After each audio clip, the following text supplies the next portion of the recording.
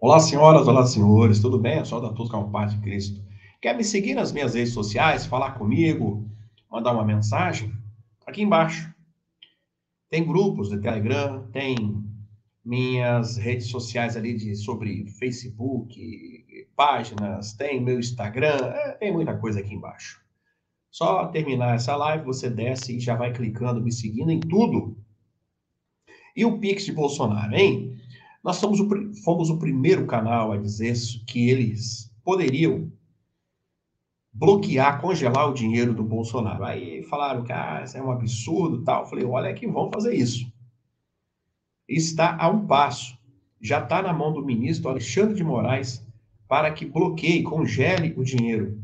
Eles querem congelar o dinheiro, pessoal, até averiguar CPF por CPF aí o dinheiro fica parado. O que, que isso quer dizer? Quer dizer que é, é, o Bolsonaro, nestes, nestes dias, meses ou anos que o dinheiro fica congelado, o Bolsonaro não poderá sacar o dinheiro. Né? Vai estar lá, mas vai estar congelado, fechado, parado e etc e tal. Né? Mas será que eles conseguem fazer isso? Isso que a gente vai falar agora. E Bolsonaro dá uma entrevista à CNN. E ele diz tudo sobre o dinheiro por volta de 17 milhões de reais doados por você. Muitos que me seguem aqui doou uma vez, duas vezes, três vezes, valores de. Os valores, pelo que eu soube, variam entre 22, que é o número né, do PL, a 200 reais, tá bom? Varia muito é, dezenas de milhares aí de depósitos. E olha, olha o que que Bolsonaro fala então para a CNN. Veja bem, ó, abro aspas. É um absurdo me acusar de lavagem de dinheiro. Fecho aspas. É, Bolsonaro afirma, afirmou à CNN que não há irregularidade nas doações do Pix feitas por apoiadores dele nos últimos meses. O Pix começou em junho. É um absurdo acusar lavagem de dinheiro, não existe nada errado. Vão ver. Um milhão de pessoas fizeram doações. Um milhão, ele fala aqui, pessoal. Disse Bolsonaro à CNN nesta quinta-feira, dia 24. Eu, eu tinha curiosidade, pessoal, mesmo de saber quantas pessoas que fizeram o, o PIX. E Bolsonaro, então, fala em, um milhão de reais. Um milhão de pessoas. Ó, os, os investigadores querem saber se houve fraude, suspeito de lavagem de dinheiro. Para fazer, entre aspas, uma varredura, a Polícia Federal vai utilizar as informações obtidas com quebra do sigilo bancário e fiscal de Bolsonaro e da esposa Michele, autorizada pelo ministro Alexandre de Moraes. A Polícia Federal ainda pretende fazer um, uma colaboração com o Ministério Público para acessar o sistema de investigação de movimentação interbancárias, que é o SIMBA, né? Um relatório produzido pelo Conselho de Controle de Atividades Financeiras, COAF, órgão de combate à lavagem de dinheiro do governo federal, aponta que Bolsonaro recebeu, pessoal, a conta exata foram 17 milhões e 200 mil reais, tá? O COAF diz isso, tá bom? Via Pix em sua conta pessoal nos primeiros seis meses deste ano. Os dados do COAF mostram que entre 1 de janeiro a 4 de junho, Bolsonaro recebeu mais de 769 mil transações por, por meio de Pix, que totalizam aqui, pessoal, olha a conta exata, ó. 17 milhões 196 mil e 5,80 centavos. Né? Esse é o valor na conta de Bolsonaro o valor correspondente quase à totalidade da movimentação pelo ex-presidente no período de 18 milhões 498 532 centavos. Os dados foram enviados pelo COAF à Comissão Parlamentar Mista de Inquérito, CPMI, que investiga os atos do dia 8 de janeiro. No início do mês, o senador Flávio Bolsonaro, PL Rio de Janeiro, um dos filhos de Bolsonaro, afirmou que os dados do COAF foram vazados da CPMI. Ah, alguém da CPMI vazou, porque eles recebem, né, ali eles recebem os dados e alguém vazou. Foi o que, que o, o Marcos Duval fez, né? No dia 8 de janeiro. Ele, ele recebeu ali a, o relatório da ABIN e ele entregou, né? Ele vazou e nós mostramos aqui ao vivo para você. E ele está respondendo por isso. Então, pessoal, Bolsonaro disse que é um absurdo o que estão fazendo com ele. Ele, de pronto, já entregou os extratos dele, da Michelle, para a polícia, para o STF, perdão. A única coisa que ele pediu é sigilo. Sigilo por quê? Pessoal, é... só na conta dele tem mais de 17 milhões de reais. Então, você falar, ah, eu tenho 17 milhões na minha conta, isso acaba meio que é perigoso, né? Perigoso um sequestro, alguma coisa assim, é muito arriscado. Então, por isso que ele pediu sigilo. Mas alguém da CPMI vazou. Que isso foi entregue a eles, não deveria vazar. E vazando isso, coloca Bolsonaro em uma situação complicada, né? Porque fica chato, né, pessoal? Os bandidos ali olhando, ó, oh, o cara tem dinheiro, não sei o quê. Eu não ficaria confortável. Mas ele disse que foi um milhão de pessoas. Então, se você pegar um milhão de pessoas ali e dividir, média 17 reais, né? Por ali. Eu não sou muito bom de conta, não. Daqui a pouco eu vou fazer igual o Zema, né? É, o Zema ali que fez as contas lá do, dos deputados. Um abraço aí ao governador. É porque às vezes, pessoal, a gente dá um nó na cabeça da gente mesmo, tá?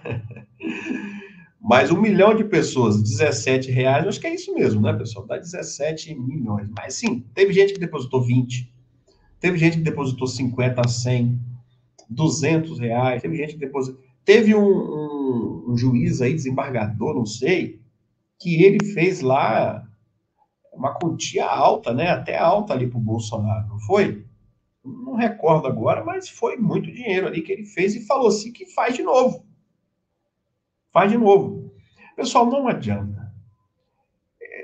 Se eles é, pegarem esse dinheiro, o povo vai depositar de novo para Michele. Não adianta, pessoal, essa perseguição, que o cara começa a crescer de novo. A gente tem precedentes nos Estados Unidos. O Trump lá, pessoal, fez uma bagunça com a vida do cara de todas as maneiras. Até fichado foi agora, né? Tem uma foto aí dele fichado, tá aqui no meu Instagram.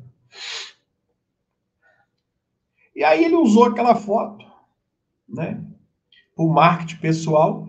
Ele arrecadou, pessoal, 35 milhões de reais já. Ele postou aquela foto.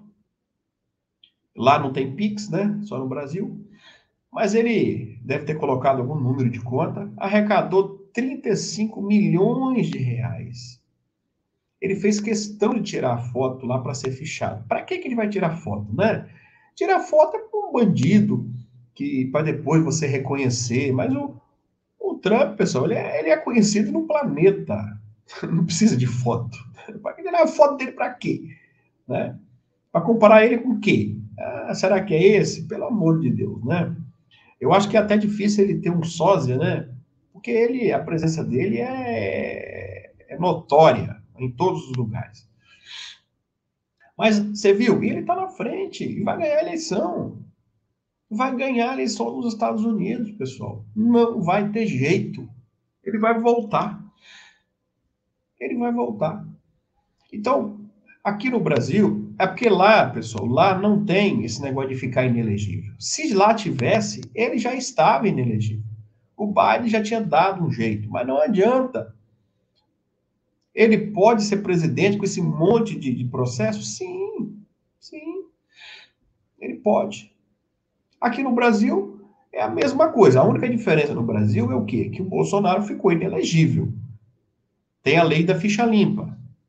Se não fosse isso, pessoal, e agora estão querendo reduzir para dois anos. Não sei, isso é um projeto de lei, né? Se deixar ele, tem para pesquisa agora, pessoal, ele tem 40% das intenções de voto. Entendeu? Então, é bate cresce, bate cresce, não adianta. Quem é direita é direita, quem é esquerda é esquerda.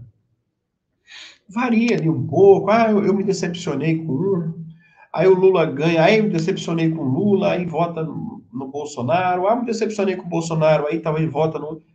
Mas isso aí é pouco.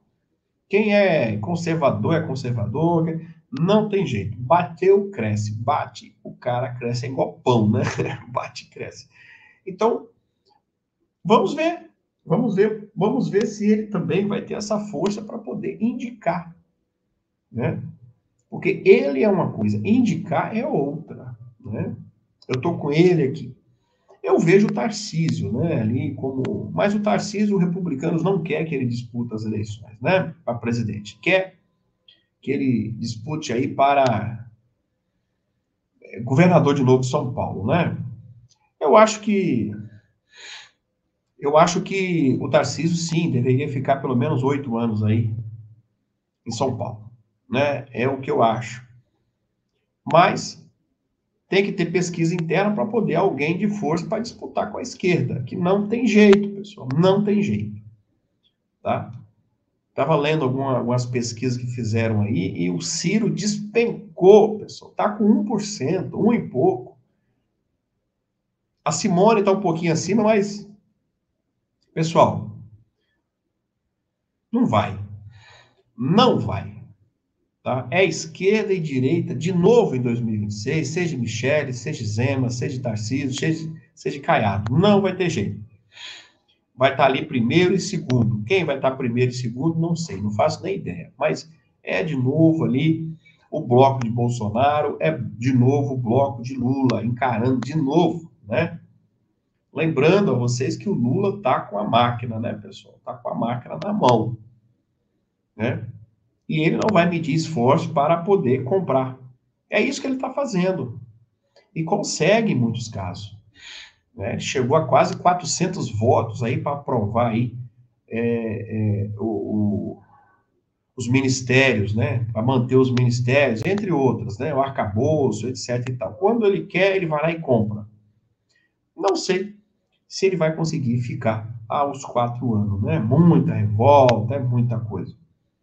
Chuchu tá lá, né? Chuchu tá lá na expectativa. é. O Alckmin, eu acho que o Alckmin não seria um péssimo presidente, tá, pessoal? Eu acho que não. O Alckmin é um cara muito inteligente, né, pessoal? Não sei, talvez seria um excelente de, é, deputado, vendo? Excelente presidente da República. Vamos ver, vamos aguardar os próximos passos. Se o Lula sair, fica o, o Alckmin aí. Depende muito, os primeiros dois anos, os, depois de dois anos muda tudo, né? Então, mas depois a gente fala sobre isso. Mas tá aí, pessoal. Bolsonaro então se defende do Pix, fala que foi legal, entregou voluntariamente os extratos e disse o valor da sua conta e também quantas pessoas que fizeram o Pix para ele. Um milhão de pessoas fizeram o Pix para ele. Já pensou, pessoal, se fosse todos que tivessem depositado, que votaram nele? Eu não lembro quantos votos Bolsonaro tirou, 50 e poucos milhões, foi isso? Já pensou, pessoal? Se cada um depositasse um real, caracas, é muito dinheiro. Mas, mas Moraes agora está na mão dele, de novo, tudo, parece que tudo é Moraes, né, pessoal? Tudo, acontece alguma coisa, Moraes, Moraes, Moraes, mas o Moraes vai decidir de novo se congela, né?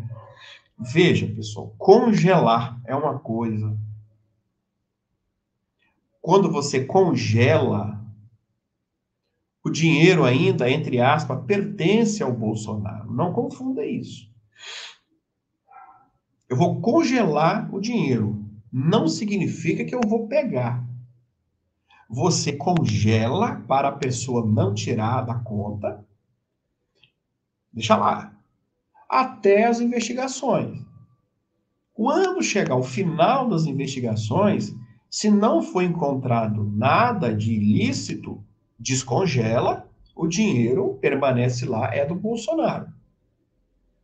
Se nesse meio tempo encontrar algum dinheiro que o, é, é, é, não tem procedência, vamos dizer assim, aí sim, esse dinheiro ele é capturado, diferente. Mas veja bem, 17 milhões de reais.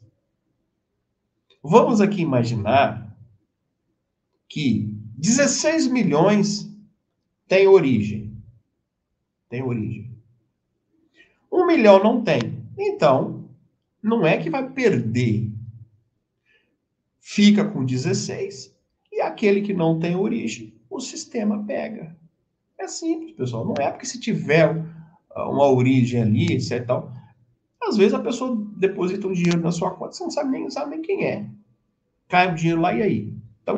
O que não tem origem, pega. O que tem origem, devolve para o, o, o dono, que nesse caso é o Bolsonaro. Então, por hora, pessoal, ele não vai perder o dinheiro. Se congela e deixa quietinho. Deu para vocês entenderem? No final da investigação, devolve tudo. É muito trabalho também, né, pessoal? Investigar um milhão de pessoas Caracas, é muita coisa, né? Muita coisa aí. Espero que vocês tenham entendido, então, como funciona aí o Pix, essa dinheirama, né? Que caiu na conta de Bolsonaro que o Moraes está com dois olhos assim, ó, regalado, querendo pegar esse dinheiro. E vai fazer o que com esse dinheiro? Né? O que, que se vai fazer com esse dinheiro? Pode ser destinado à União, ao Lula, por exemplo, para ele é, aumentar o Bolsa Família, Faça qualquer outra coisa. Imagina, você deposita um dinheiro para o Bolsonaro e vai acabar na mão do Lula. Já pensou? Pode acontecer. Infelizmente pode, tá? Pensa bem que raiva que o povo vai ficar, hein?